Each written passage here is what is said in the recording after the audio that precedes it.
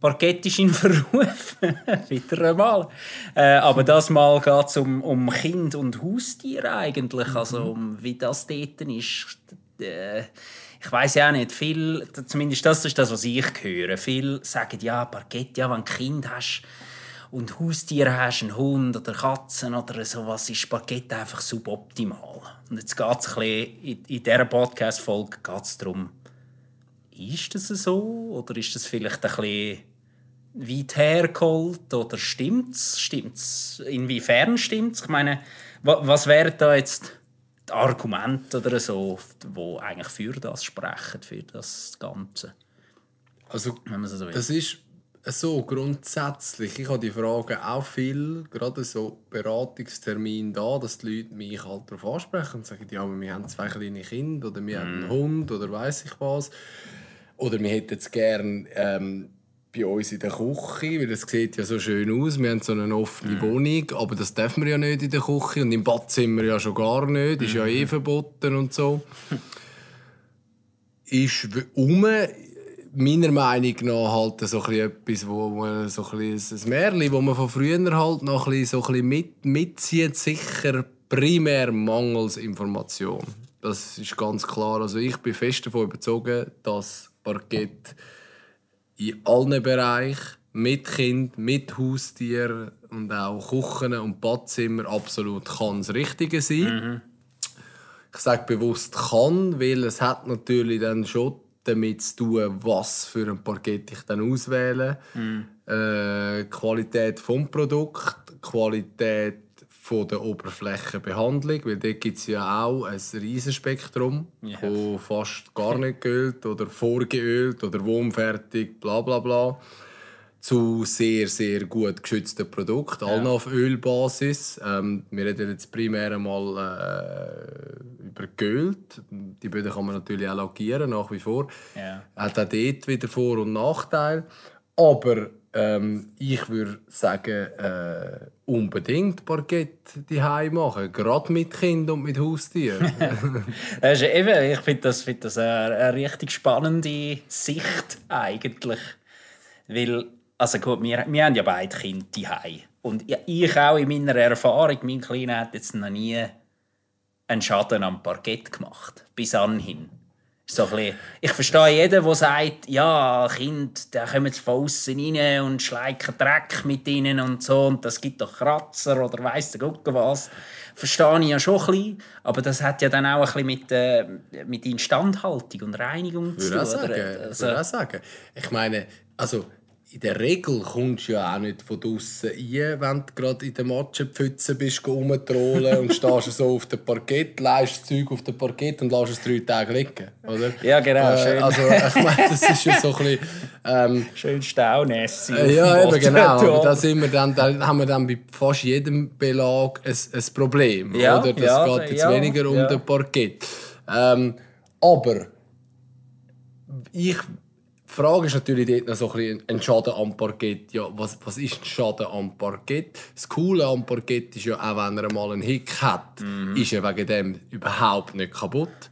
Ja. Äh, das ist ja Patina, wo wir... Ja, nicht wie ein Stein. Wo, oder wo dann vielleicht einen Sprung ja. oder einen Riss ja, bekommt, wo man dann muss Platten täuschen wegen ja, dem. Genau. Der Parkett kommt sicher keinen Sprung über. Dann mhm. hat er vielleicht mal einen Hick. Erstens mal stört der Hick wirklich äh, fraglich, je nachdem wie groß das er ist. Gerade wenn man jetzt vielleicht eine tief bürstete Oberfläche hat, weil man ja eben weiss, dass man es ein bisschen weniger heikel will. Man nimmt eine mhm. tiefe Bürstung. Da können wir nachher vielleicht noch ein bisschen darauf eingehen, mhm. weil es halt einfach ein bisschen pflegeleichter ist. Und dann hat man mal ein Hickli, Gottes Namen, dann gibt es also Ich meine, wir machen ja gealterte Böden ab Werk ja. mit Hick drin, weil die Leute die Patina eigentlich noch schön finden. Ja, oder? Genau. Und mit dem muss man halt vielleicht dann einfach leben, dass es ab und zu mal einen Hick geben kann. Und wenn es einem aber dann stört, kann man ja den auch flicken. Dann kann man ja mit einem, mit einem speziellen Filler äh, die Hickli ausfüllen. Das ist eine mhm. Sache von ein paar Minuten. Das, das bieten wir unseren Kunden meistens an, wenn es das gibt, äh, wenn wir irgendwo in der Gegend sind ist ja schön, dass wir auch lokal arbeiten dürfen. Dann, dann, ja, dann genau. macht man ein Flickchen drin, dann hat es ein Ästchen mehr, dann sieht man das nicht mehr. Also die Thematik mit dem Boden kaputt machen von Kindern, hm, sehe ich jetzt überhaupt nicht. Kratz, was du vorher angesprochen hast, Kratzer. Ich meine, ja, du kannst einen Holzboden verkratzen, du kannst fast alles verkratzen. Äh, Keramikplatte Ja, ja, ist relativ schwer zum Verkratzen, da gebe ich recht. Hat halt dann einfach andere äh, Nachteile. Wenn du halt keine Bodenheizung hast, ist halt äh, das auch nicht Ist so so cool, kalt. zum am Boden hocken, oder? Und in der Zwischensaison Ja. auch mit Bodenheizung sind es halt kalte Böden, das ist halt so. Ja, und äh, also, ich, gut, ich bin in einem Haus aufgewachsen, bei meinen Eltern, da, da ist alles plättelt, der ganze Boden. Also ist, ist natürlich schon äh, ein bisschen pflegeleichter, wenn man es so will, aber kalt, auch trotz Bodenheizung, notabene, muss, ich, muss ich sagen. Und dann, äh, der grosse Punkt ist, wenn es einem hinhaut, weil man am Spielen ist und man stolpert, Ja. das tut dir viel mehr weh, besonders wenn du noch eine Fuge zwischen denen triffst, am Knie oder sowas. Viel mehr als ein, als ein Holzboden, einen, einen geschliffenen oder einen leichtbürsteten oder so. Viel mehr, für Ja. mein Gusto. Absolut. Und was ja bei vielen Platten, vielen Platten auch noch ist, ist, äh, die sind ja meistens nicht strukturiert, die Oberfläche. Ja, genau. Rutschig, Die sind ja. auch rutschiger, Ja, oder? ja, Das genau. kommt auch noch dazu. Das Ja. Mhm. ist ein Holzboden auch nicht. Das ist auch etwas, was man gerade mit Kind sicher muss äh, in Betracht ziehen Ja, oder? ja, und dann, und dann Stegen ist natürlich entsprechend auch Blättler gewesen, oder? Klar. Mit diesen mit. Ist klar. Was ist denn die Lösung? Du hast natürlich auf jeder Treppe, äh, Treppentritt du hast so ein, äh, so ein, so ein Band, wo Ja, so äh, mehr oder weniger, wie, ja genau, wie ein Schmirgelpapierband sozusagen, hure, hure hübsch. Genau. Ja. Hättest du doch einen rustikalen Parkett, hättest du das nicht. Hättest, hättest du das alles nicht. Das ist ja so. Aus der Dusche raus äh, Ja, ja, mit genau. einem Tiefbürstenboden rutschst du nie aus. Ist nie, Ja. Plus ist es noch sehr schön, barfuß auf, ein- auf ein bürstetes, schönes Holz zu stehen. Es ist einfach der Ja, Haptik her natürlich etwas, Ja, auch etwas Einmaliges. Oder? Genau, ich meine, es ist also- immer lässig zum Anlangen. Ich Immer, manchmal es ist extra immer wieder verschieden. Es ist wirklich, und alle, jeder ist ein bisschen anders, jeder, jeder Riemen, jede Diele, da, jedes Stück. Aber darum eben, jetzt haben wir, jetzt haben wir extrem viele Vorteile aufgezählt, oder? Ich glaube, wenn man sich wirklich mit dieser Materie ein bisschen länger befasst als nur, ja, Holz ist einfach heikel, weil es vielleicht einmal äh, wo man umgestellt hat von diesen lackierten Böden. so in den gut, 90er Jahren hat man angefangen, die Böden zu ölen.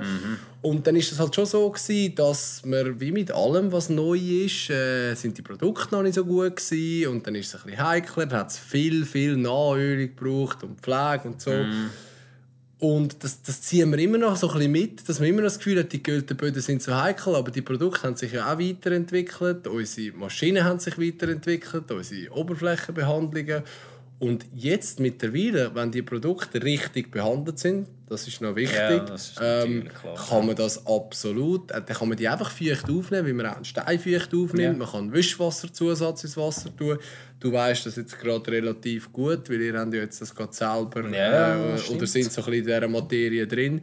Das kann von jemandem gemacht werden, der kein Bodenfachmann ist und ist jetzt auch nicht mit extrem viel Aufwand verbunden. nicht. Und dann bleibt der Parkett eigentlich sehr, sehr, sehr lang schön. Ja, ich würde sagen, sogar je nach Pflege, die man macht, wenn man mal ein Mhm. bisschen Zeit investiert, ich sage jetzt was, ein paar Jahre, für das man macht das sogar selber, man kann das selber, die sieht das wie neu aus. Mhm. Ja, Also Jahrelang. effektiv, gewisse Pflegeprodukte heutzutage sind ja, Ja, das des Todes. Ich bin selber überrascht, wie gut dass das Zeug funktioniert. Es ist wirklich, wirklich gut Ja. heutzutage. Und Also- äh, zurück zu, äh, zurückzukommen zum Thema ähm, äh, lackiert und geölt. Mhm. Also früher all die, also früher, das ist heute auch noch, all die, die lackierten Böden.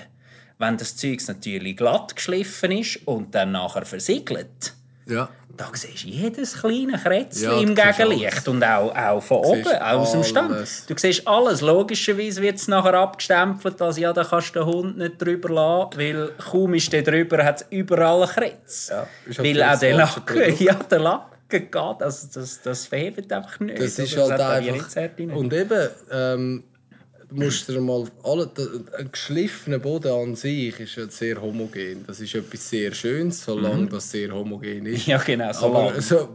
So, Jedes Kretzli ist extrem störend. Mhm. Darum habe ich das vorher angesprochen. Wenn du ja weißt, dass du einen Hund oder Kind oder was auch immer Mhm. hast, Katze, kannst du ja eben einen bürsteten Boden nehmen, wo Genau. ja die Strukturen schon hat und das Leben, dass Ja. auch das Kretzli nicht siehst, wenn der Hund mal Ja. um die Ecke äh, speeden tut und äh, Kretzli macht. Ja, um auch wieder zurück auf den Tisch zu kommen. Ich meine, genau das Gleiche Das ist da. ja nichts. Wie viel Das haben wir ist- da schon ausgelernt Ja, oder es- etwas gegessen? Eben, das ist das. äh, Und wie viele Kretze dazugekommen sind. Ob, aber man sieht sie ja gar nicht. siehst es nicht. Weil es Wirklich ist so rustikal, dass es wieder nicht sieht.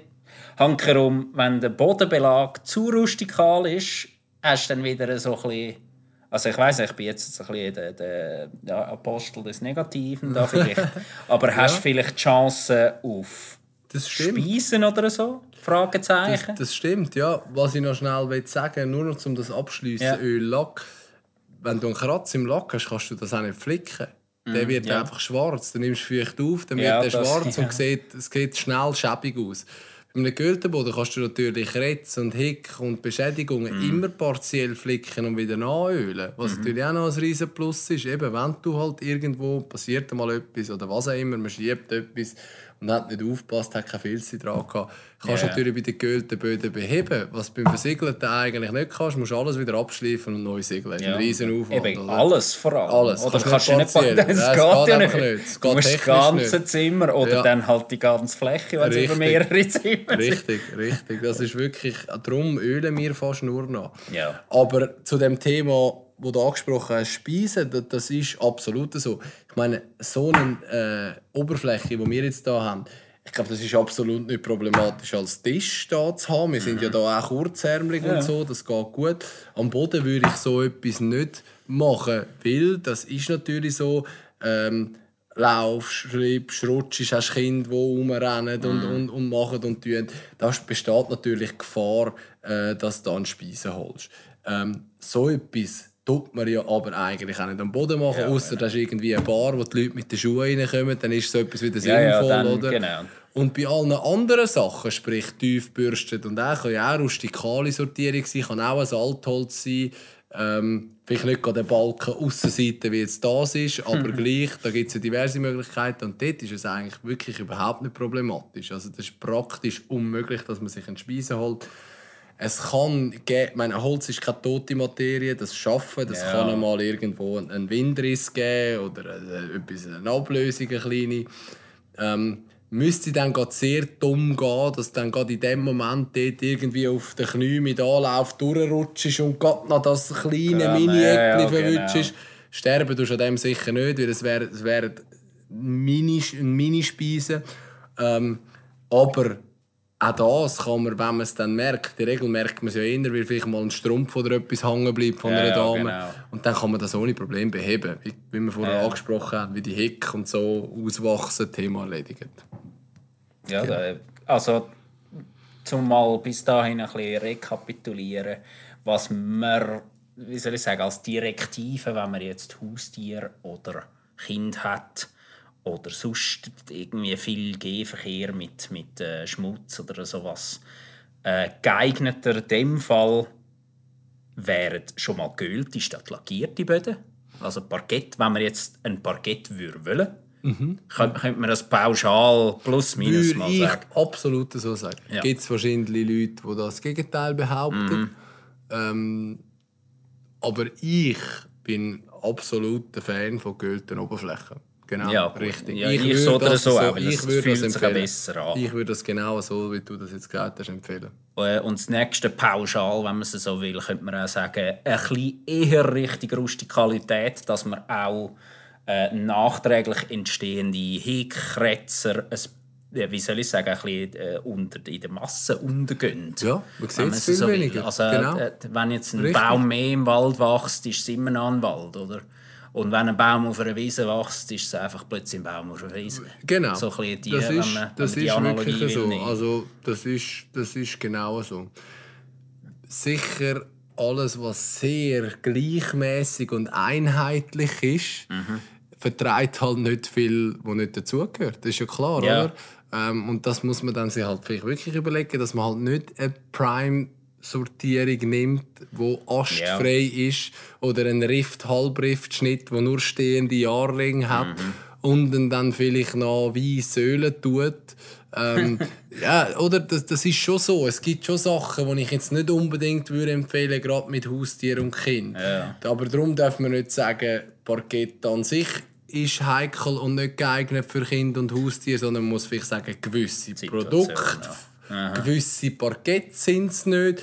Aber ich finde auch irgendeine Steinplatte, die nicht geeignet ist für Kind und Haustier. Und ich finde auch irgendeinen Ja, ja, äh, einen Teppich und ein Vinyl. Wenn ich suche, finde ich in jeder, jedem Belag Ja.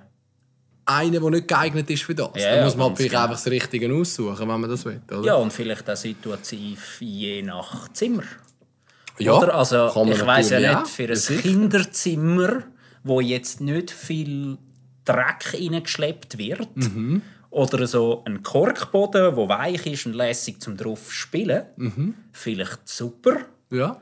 Aber ein Korkboden im Eingangsbereich vielleicht eher eine falsche Mhm. Ja. Entscheidung. ja. Und je nachdem, Oder so. ja, richtig. Oder dort, wo ich weiss, ich will da irgendwie ein 200 kilöniges USM-Möbel mit so kleinen Minifüßen draufstellen, Ja, ja, ist genau. der Kork halt nicht das Richtige. Ja, genau. Und der Teppich vielleicht, ja. ja, Ja, ja, ja, eben, das ist halt einfach genau ähm, eigentlich gesunder Menschenverstand, oder? Ähm, und ich glaube, es ist einfach immer schwer, wenn man so Sachen pauschalisieren tut, genau aus dem Grund, weil wir, wir haben so viele Möglichkeiten ähm, und wir finden fast für jeden Bedarf irgendetwas, wo dann gut passt. Aber man muss sich halt ein bisschen damit befassen und mal schnell ein bisschen neue Tiefe gehen Ja. von diesen Produkten. Aber es ist vielleicht auch schwierig, zum äh, den einen Bodenbelag zu finden, der alle Sparten abdeckt. Also nicht, nicht nur schwierig, sondern vielleicht sogar unmöglich. Aber es ist ein bisschen, ich weiß nicht, das Phänomen von der heutigen Innenarchitektur, wo eigentlich liegenschaftsweit muss ein uniformer Bodenbelag sein. Also der gleiche in der Küche wie, wie am, am besten auch noch im Bad, in der Stube, in allen Schlafzimmern und dann im Büro auch noch. So ein einfach ein uniformer Belag, der muss natürlich dann auch alle Zwecke erfüllen. Ja, das ist schon so. Würde ich aber gerade sofort sagen, ja, dann mach ein Parkett. Ja, Den Parkett er kannst du in all diesen Bereichen benutzen. Den kannst du in einer Küche haben, den kannst du im Eingangsbereich haben, den kannst du in einem Badzimmer haben, in einer Dusche, WC drin hast. Das geht absolut. Dann muss man halt eben vielleicht sich ein bisschen damit befassen, ja, wie nehme ich dann die Böden auf, wie tue ich es pflegen, wie gehe Ja, ich genau. damit um. Aber das geht absolut. Ähm, Gibt es andere Sachen, wie zum Beispiel ein Teppich? Und über das Ja. haben wir auch schon eine Folge äh, gehabt. Und Teppich ist etwas mega lässiges und es kommt immer wieder. Aber einen Teppich würde ich jetzt niemandem in die Küche legen, auch wenn er es wählen ja genau. Oder ist halt einfach, das geht dann wirklich meiner Meinung nach nicht.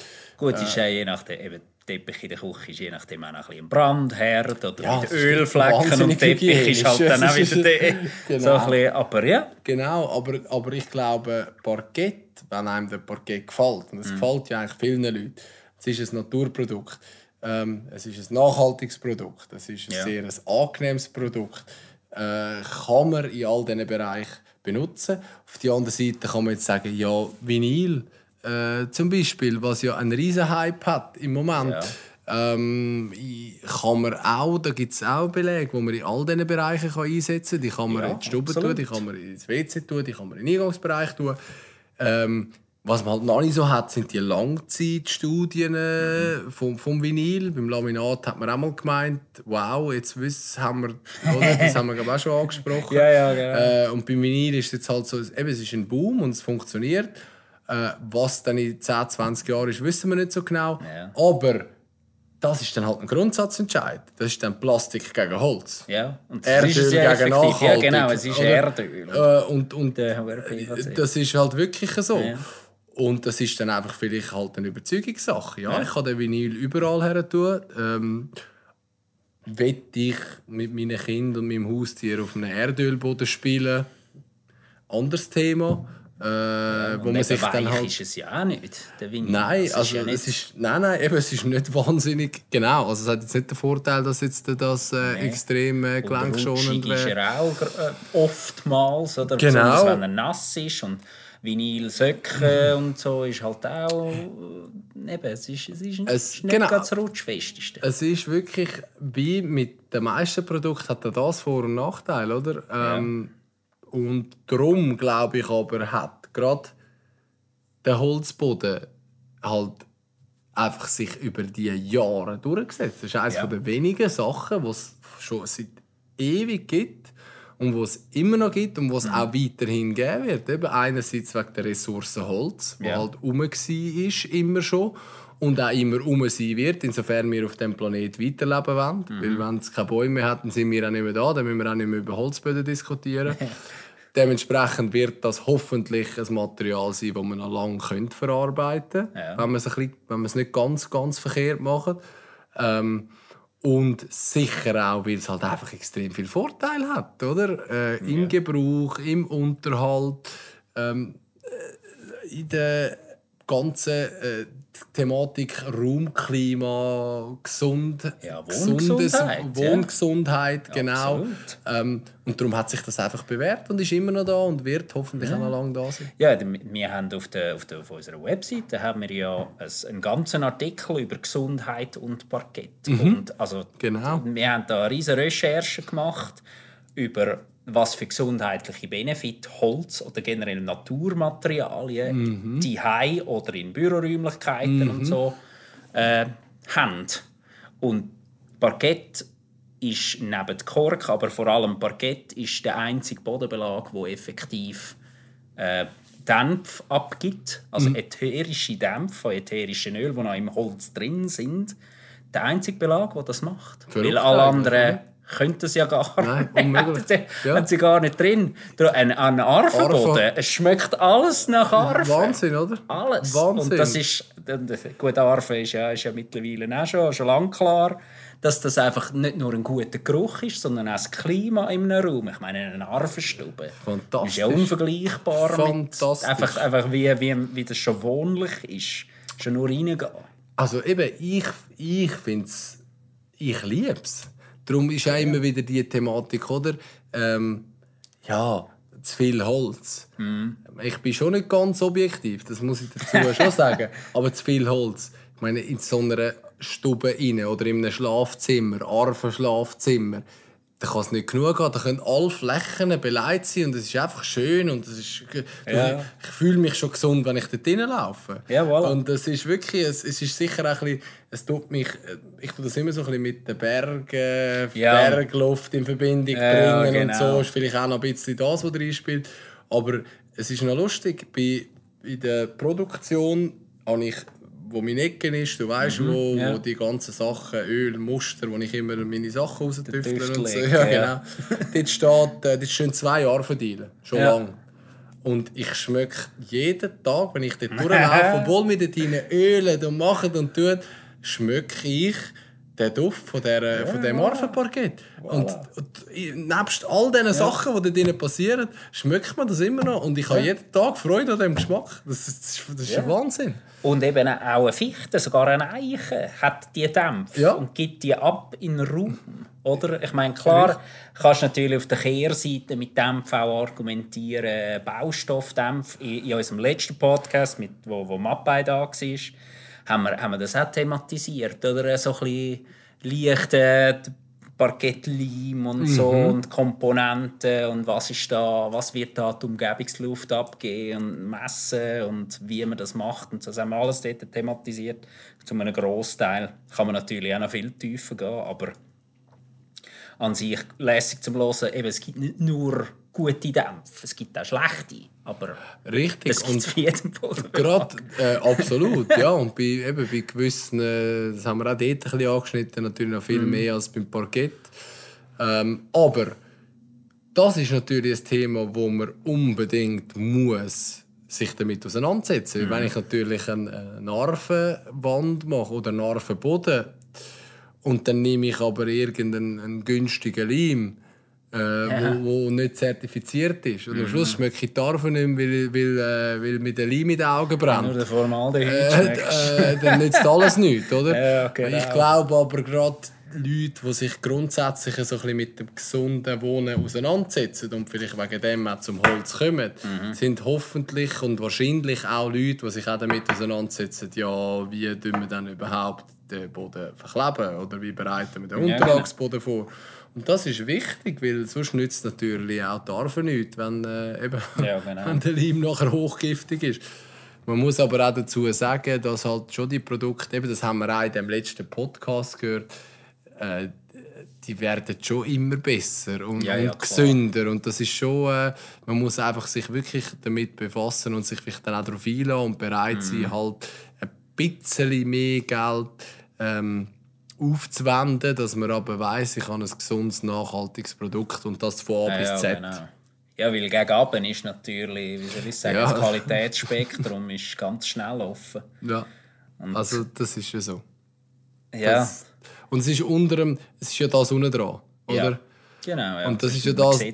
Man sieht es ja nicht. Ja, logisch. Es ist einfach ein Kleber dort unten drin. Was soll ich jetzt für den ja Kleber noch mehr zahlen, oder? Aber es geht eben weiter, die Geschichte, oder? Mhm. Und das ist ja genau, wenn, das ist genau das, oder? Wenn man sagt, ja, der Parkett ist einfach heikel. Das Gleiche, und das ist ja, der Kleber ist ja unten. Mhm. Wenn man halt Sachen nur so oberflächlich tut, anschauen und beurteilen, ist es halt auch sehr schwer, gescheite, äh, gescheiten Schluss zu ziehen nachher, oder? Mhm. Aber eben dennoch ist, ist das, was unter dem Parkett ist, oder unter jedem Bodenbelag, fast gleich wichtig. Sicher, ja. es Besonders, besonders wenn man ja daran, wie soll ich sagen, ein bisschen, ein bisschen an, an seine Kinder oder an seine Haustiere will denken. Oder? Weil die, Absolut. die kriegen das Zeug halt auch ab und die wissen halt auch nicht wie. Und, und, Ist und, klar. Und so, aber äh, Ja, und der Hund liegt am Boden und schläft und, und äh, der kind, kind schlägt den Boden ab. Äh, Ja, voilà. äh, und, und ist ja, oder, dass wir zwei nicht mehr gehen, den Boden abschlecken, ist eins, aber unsere Kinder schon. Also musst du dir halt überlegen, genau. wie so, oder, oder, oder Hund und Katze. Ja, genau. Und die liegen dir am Herzen, die eben gerade Kind und Haustier. Das ist einfach, das ist so ein grosser Teil in vielen Leben, ähm, dass man sich wirklich muss mit dem einfach auseinandersetzen muss. Und mal abgesehen vom Gesundheitsaspekt ist halt so die Vorarbeit allgemein, oder? Die wird immer so ein bisschen als ja, die Vorarbeit, die darf nicht viel kosten, die muss schnell gehen. Mm. Aber ohne ein gutes Fundament kann ich eigentlich kein Haus bauen. Nein, nein, kann- genau, ohne eine gute Vorarbeit kann ich einfach echt einen gescheiten Boden verlegen. Mhm. Und ja, man sieht es nicht, aber wenn man ein gutes Resultat will haben nachher am Schluss und langjährig auch Freude haben, ist es einfach wichtig, dass die Vorarbeit richtig gemacht wird. Ja, nachhaltige Arbeit, nicht nur aus, Mhm, äh, richtig. aus einem ökologischen äh, Gesichtspunkt oder Sichtpunkt, sondern auch äh, einfach, was die Lebensdauer betrifft? Genau. von, einer, von einem Produkt, von einem Haus, von, von, von wie man ist. Und das, das darf auch, wie soll ich sagen, es darf auch ein, ein, ein Mehraufwand wert sein, finanziell oder Zeitaufwand. Absolut. Weil das ist eben, wenn man Kinder und Haustiere hat, das ist unbestritten, ist einfach der, der Reinigungs- und Instandhaltungsaufwand ist grösser, egal welchen Bodenbelag das man hat. Guter Punkt. Genau, Also, das äh, ist eh so. Das, ich meine, ob man jetzt einen Teppich hat und gut, eben so ein Horrorszenario, wenn man es so will, ein Teppich und, und das Kind leert äh, den O-Saft aus oder so Ja, aus dem Pack. ist Ist so. auch ein, ist auch ein Seich. Der O-Saft wäre besser auf dem Parkett, besonders auf einem Gölten. Oder Das ist ja so. besser wegmachen. Das ist es so. Aber der Teppich ist natürlich lässiger zum drauf zu spielen, weil er weicher ja, ist und bla bla bla. so, und er eben weicher, warm, angenehm. Mhm. Aber da sind wir wieder beim Thema Produkt. Ähm, auch die Teppichhersteller haben sich ja müssen ein bisschen etwas überlegen, weil die sind ja genau auch mit diesen Sachen konfrontiert. Ja, genau, Teppich ist doch heikel und kann man nicht reinigen. Gibt es ja jetzt mittlerweile auch Teppich wie der Clean von der Tiara, Ja, ja, wo, gut, ja, wo bewusst auch gemacht Natürlich, ich würde immer noch die Küche machen, kein Thema, aber die haben ein, ein speziell modifiziertes Garn, wo halt wirklich dann auch sehr gut zu reinigen ist mit der richtigen Ja, aber dann bist du wieder bei, einem, bei einer- in einer Preiskategorie, wo es wieder genau um das geht, dass man Natürlich.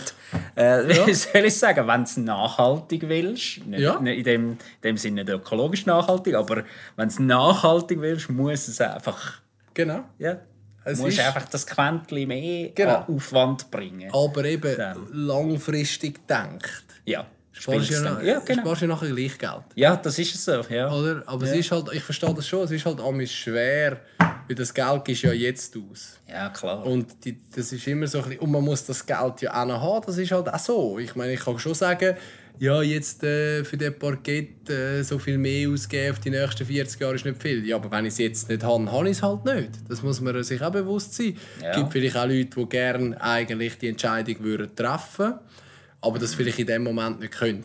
Das, Ja. das ist natürlich auch ein Faktor, den man nicht ganz außer Acht Nein, absolut nicht. Absolut nicht.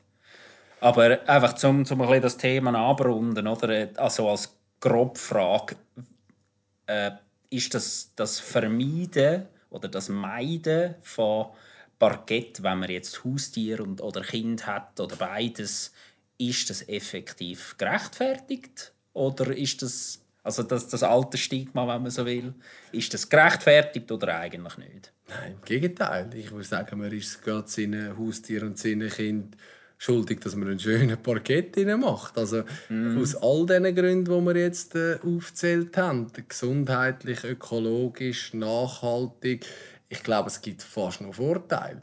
Und Ja. was du vorher angesprochen hast, ist wirklich ein guter Punkt. Der Aufwand, wenn man Kind und Haustier hat, in der Pflege allgemein, ist eh Ja. Einiges höher, als wenn man es nicht hat. ja. Ob ich jetzt eine keramische Platte, ein Vinyl, einen Teppich oder einen Kautschuk oder ein Parkett habe, ich werde mich mehr um meinen Boden müssen kümmern. Ja. Was aber nicht einmal zwingend nur mit Kind oder Haustier zu tun muss haben, sondern generell, je länger man in einem Raum oder auf einem Boden, jetzt in dem Kontext, ist, desto mehr Dreck sammelt sich an, desto mehr Richtig. Staub sammelt sich an, desto höher ist der Pflegeaufwand. Oder? Richtig. Und Kind und Haustier sind halt einfach mehr die Und wenn man das hat, ist man auch eher die Das ist- ist, ist darum Ja. nichts anderes als logisch, dass nachher der Reinigungsaufwand grösser wird. Das ist genau so.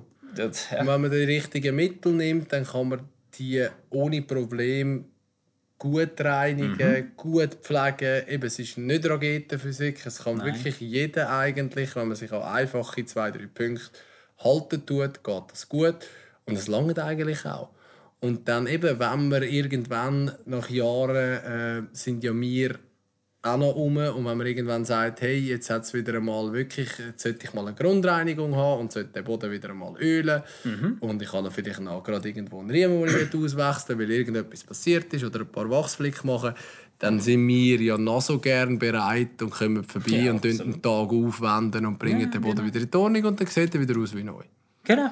Und hat er wieder 15 Jahre. Genau. Und das ist ja das ist eben auch das, oder Kind und Haustier, eben Haustier leider, da gibt es dann halt einfach auch die Situation, dann hat man sie plötzlich nicht mehr. Oder die Kinder sind dann plötzlich zu alt, um auf dem Boden zu spielen. ja. Und dann bist du dann plötzlich froh, hast du den gleichen Parkett, das du schnell kannst auffrischen kannst, statt dass du da jetzt musst einen Bodenbelag rausreißen und Natürlich. einen neuen rein. Und heutzutage mit dem, mit dem Parkett, eben, da schleifst du schnell drüber. Und da kannst du noch ganz andere Farbe drin machen. Alles, du- richtig. Also, kannst du dann sagen, Richtig. nein, ich will eigentlich, ich habe jetzt viel mehr Lust auf einen dunklen Parkett als einen Richtig. hellen. Also machen wir jetzt einen dunklen. Ja. Für die nächsten 15 Jahre. Ja, richtig. Wie auch immer, wie lange es dann sind. Das ist, weißt du, wie viele Kunden sagen mir, ja, ich habe da so eine äh, quadratische Platte und das sind dann die weißen, die hat man halt dort in dieser Zeit so gemacht, Mm. Ja, ja, aber die genau, Farbe ist mir so 2000er Jahre. verkleidet, jetzt mache ich Ja, genau. Oder? Ja, ja ganz genau. natürlich, hättest wäre das ein Parkett, könnte man den schleifen und könnte den jetzt äh, vier machen, wenn du das willst, oder? Und eben, so denkt, ist ja nachher der Preisunterschied, der ja nicht exorbitant ist, Ja, genau. eben dann gar nicht mehr so viel. Ja, voilà. Und äh, es wird sich langfristig gesehen ähm, immer lohnen. Bin ich, bin ich überzogen. Bin ich wirklich davon überzogen, dass, dass die Holzböden äh, langfristig ähm, das rausholen werden, was vielleicht in dem Moment ein bisschen mehr kostet.